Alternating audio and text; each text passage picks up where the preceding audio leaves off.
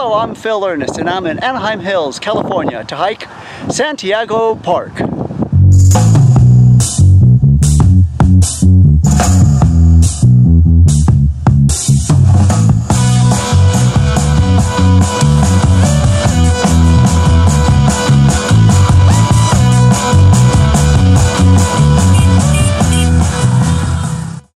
To find the trailhead, exit Weir Canyon off the 91 freeway. Going south, turn right on Serrano Avenue, and then left on Hidden Canyon Road. At the end of the road, you'll have found the trailhead. Or you can simply enter Anaheim Hills Riding and Walking Trail on your GPS. Street parking is available in a quiet neighborhood. At the end of the road, you will see two trailheads. The one on your left is a short three mile loop. The hike I will be doing today is on the right hand side. At the trailhead, they have a sign welcoming you to Santiago Oaks Regional Park. The rules are clearly stated. Dogs are allowed but must be on leash at all times, and they ask that you please stay on the trail. As you come to this fork in the road, stay on the right hand side. If you like this type of content, please be sure to subscribe to the channel. I have a new video every week. To finish up on the rules of the park, no smoking, and they ask that you please do not disturb any of the wildlife or agriculture. On this particular morning, I started my hike at 7:30 with an early morning gloom. 11 years ago when I first took up hiking, Santiago Oaks Regional Park was the first park I ever hiked in.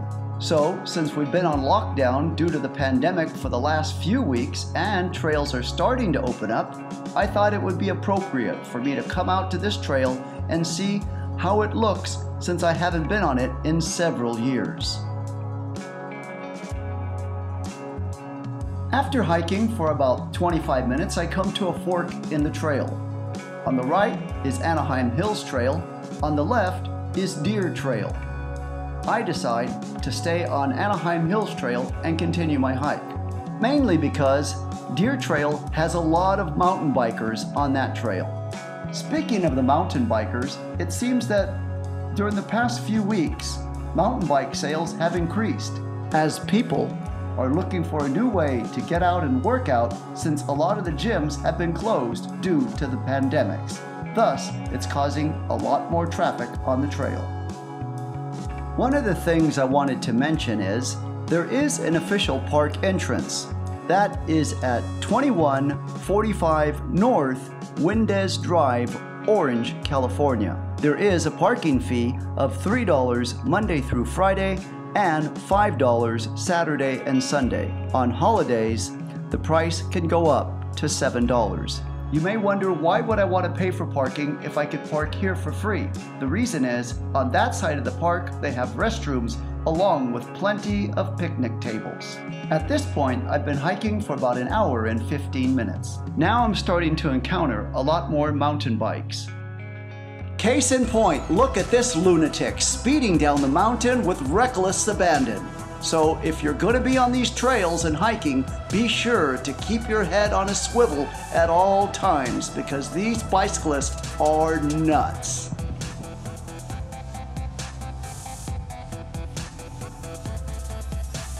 After two hours of hiking, I come to this fork in the road. So I'm going to take a right hand turn here on Coach Whip and go on this trail. Like I had said earlier, I haven't been on this trail in years, so I was pleasantly surprised to see a lot of signs posted of the trails. As you can see from this video, the bikers clearly outnumber the hikers on the trail this afternoon. As I was preparing for this video, I came upon this write-up from the OC Parks website, so I thought I would share it with you. Santiago Oaks Regional Park lies peacefully in East Orange alongside Santiago Creek. The 1,269 acre Santiago Oaks Regional Park is a nature's lover's paradise. This secluded refuge offers hikers, bikers, and equestrians the natural charm of mountain vistas in Orange Grove, a meandering creek, and a mature forest of many different species of trees. Wildlife abound and a series of interconnecting trails leading through shady groves and to a lookout that features an awe-inspiring view of Orange and the surrounding foothills. That awe-inspiring view they were talking about is Robber's Roost. I will visit that toward the end of the hike. Notice this is why I said earlier, with bikers on the trail, keep your head on a swivel as I pull over to give this biker the right of way.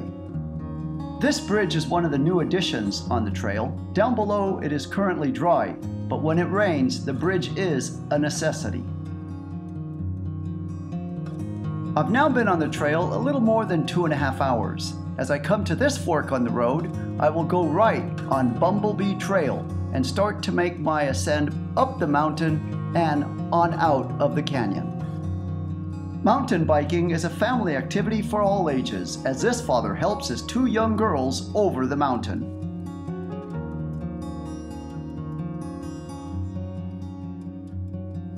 It's at this point of the hike where the trail becomes a T.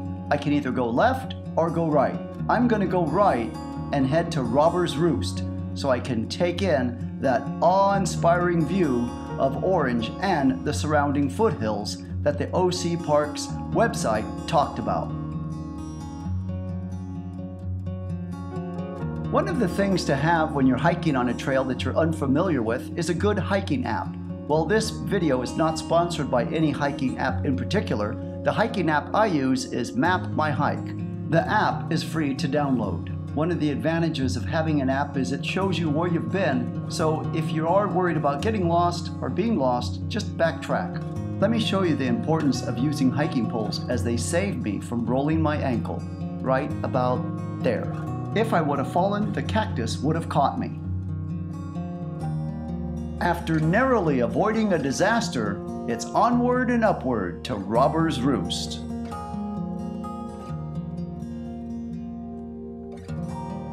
As I'm making my ascend up the mountain, and it's later in the day, I'm noticing fewer and fewer mountain bikes on the trail, and that suits me just fine.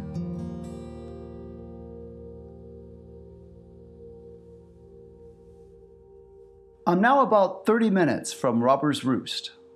And now one of the first shots of Robber's Roost comes into view on the hike. See that peak up there? That's where I'm heading. And here is a better shot of Robber's Roost as I zoom in on it. One of the things I found interesting as I'm approaching Robber's Roost is, see where that biker's at? Right about there is a gate and there are signs posted that beyond that gate is private property. Coincidentally, that's where Robber's Roost is at. At this point, I'm beyond that gate and ready to take the ascend up to Robber's Roost. So technically at this point, I am trespassing. As I'm getting closer to Robber's Roost, I'd like to give you my overall impressions of Santiago Oaks Regional Park from a hiker's point of view. The area is nice with different forms of nature, the trails are well manicured and easy to follow. And there are a large variety of trails with different levels of difficulty. So those are the key things that make this a great place for a conditioning hike. However, the downside I found is there aren't any trees on the trail to give you shade if you want to take a break. And the park has been overrun with mountain bikers. So if you are a mountain biker, this is a great place for you. And now for that awe-inspiring view of Orange and the surrounding foothills. My time and distance for this hike at a relaxed pace was five and a half hours and I covered a little less than nine miles. During the course of my hike this afternoon, I continuously kept noticing something from a distance and now I'm gonna go take a closer look at it. And there it is, Old Glory blowing strongly in the wind. Several years ago when I used to do this hike, there was not a flag at this site, so I was excited to go take a closer look at it. If you like this video, please don't hesitate to give it a like, and if you like this type of content, please subscribe to this channel.